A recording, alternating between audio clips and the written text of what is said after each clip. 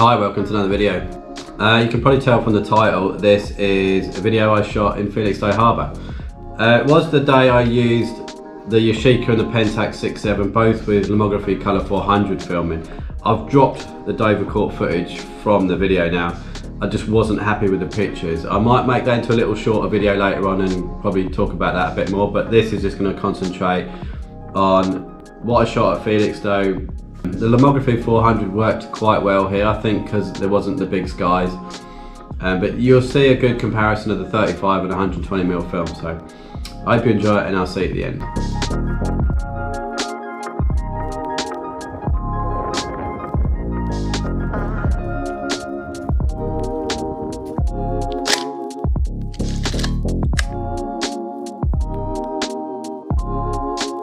Look at this. I'm now in a windy Felixstowe. And uh, yeah, how cool is that?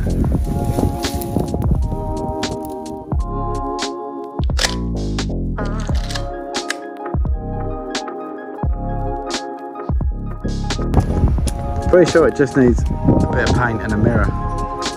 Maybe the door handle.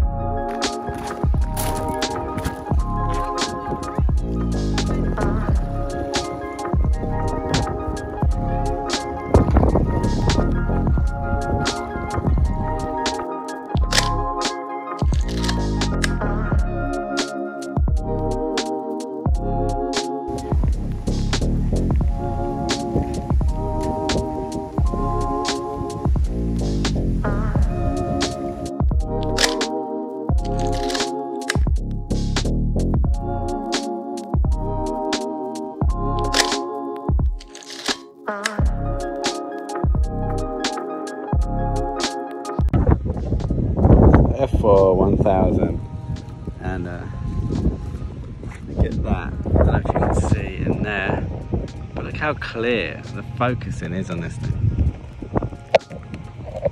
The screen is so good.